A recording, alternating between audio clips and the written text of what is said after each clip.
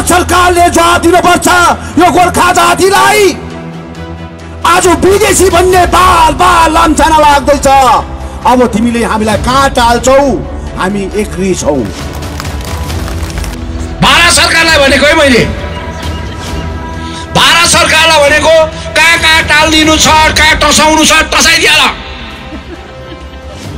बुझ्यो नि हामी त अब कस्तो स्थितिमा बाँचेका छौँ? अन्त त्यहाँ गएर आज सन्चोले बाँच्नु भने बाँच्छौँ नि त होइन? स्वाभिमानी बाँच्छौँ नि इज्जतमा बाँच्छौँ।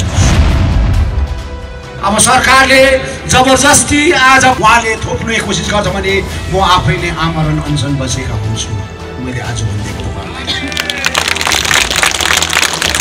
म आफै नै एक्लो म आमरण अनसन बसेका हुन्छु यो जातिको निम्ति। मेरोमा भएको भए त मेरो शरीर काटेर भए पनि तिमीलाई दिन्थे। छैन नि त मेरोमा के दिन सक्छु मैले? मेरो वर्षन मात्र हो। के दिन सक्छु मैले तिमीलाई? तिमीले सोचेर आज आएको थियौ होला। तिमीले ठुल्ठुला सपना सोचेर आएको थियो होला। रोजेर आएको थियो होला। तर विमल गुरुङ चाहिँ यो पहाडमा आएर जितेमा बस्छु भनेर कदापि सोचेका थिएनन्। त्यो आमाको पेटबाट पैदा भएको छोरा हो मैले मेरो आमाले पैदा गरेको यो छोराले आज जातिलाई गद्दार गरेर आज आफ्नो सत्ताको राजनीति गर्यो भने मेरो आमाले जन्माएको व्यथाइ हो यो विमल गुरुङलाई। स्वाभिमानमा जिउन आज मैले सिकेका छु। चाहे म भोकै बसौँ चाहे तडपिउँ म तर म स्वाभिमान बेच्न सक्दिनँ। हामी पहाडलाई अशान्ति चाहँदैनौँ। पहाड आज खुसी भएको देख्न चाहन्छौँ। पहाड हाँसेको देख्न चाहन्छौँ। पहाड पहाड आज एकदमै रमाएको हेर्न चाहन्छौँ।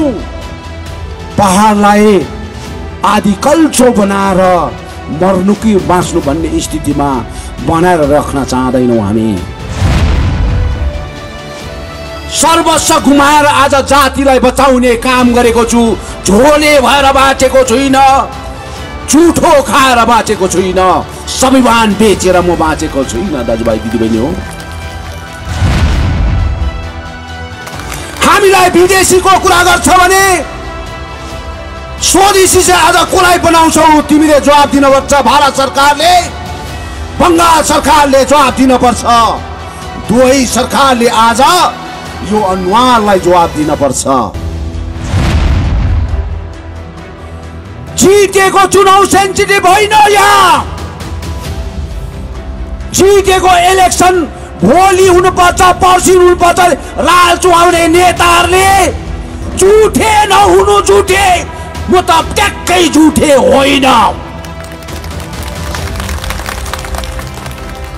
तिमीले झुठो खाना खाएर आफ्नी आमाको जमिन बेच्दैछौ अर्काको झुठो खाएर आफ्नो बाउको जमा जमिन बेच्दैछौ आफ्नो बाउलाई छ फुटमा गाड्ने जमिन तिमीले बेच्दैछौ भोलिको दिनमा तिमीलाई त्यो छ फुटको जग्गा पनि तिम्रो लागि बिरानो हुन्छ यो गम्भीर कुरा हो हामीलाई धोका समस्या त यहाँ पो छ त। राजनीतिमा त भोट आउँछ जान्छ जिन्दाबाद र मुर्दाबाद भन्ने कुरा त हुँदै जान्छ। तर यो अनुहार बिस्तारी बिस्तारी गायब हुँदै जाँदैछ। यो जाति बाँच्न पर्छ यो समाज बाँच्न पर्छ यो क्षेत्र बाँच्न पर्छ। यो बाँचेन भने रहेन भने दुई चारजना जुठे लिडरले बचाउन सक्दैन है तपाईँलाई।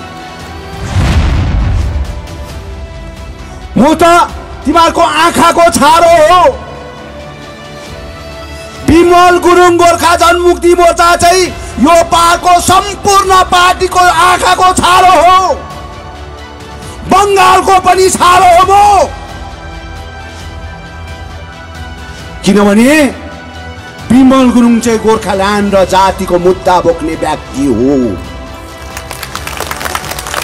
त्यसले गर्दा छारो बनाएको छ? कहिले भत्काउँ कहिले बिगारौँ कहिले तस नस पारौँ भन्ने कुरामा आज लागिरहेका छन्।